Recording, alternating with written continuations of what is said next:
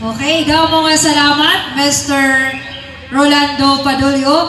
Og sugad man kan Ma'am Junalyn Sabulaw nga usaya nga head teacher 1 Hanbalod Elementary School.